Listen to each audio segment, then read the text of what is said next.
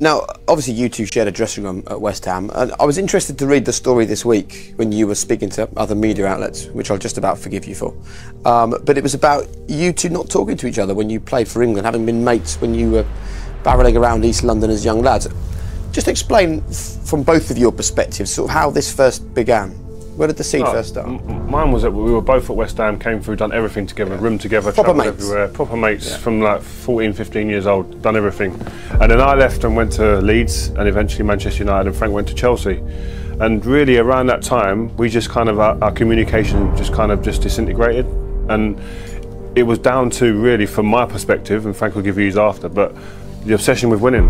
I didn't want to see Frank have an edge on me. I didn't want to speak to him about anything that might he might be able to take away and, and use to to facilitate his team winning, etc. And it just became an unwritten kind of conduct, really. It was the same with Stevie. When I was with England, Stevie, when we was battling for them for, for the Premier League, I didn't want to really sit around him and be around him because I just didn't want to hear what Liverpool was doing.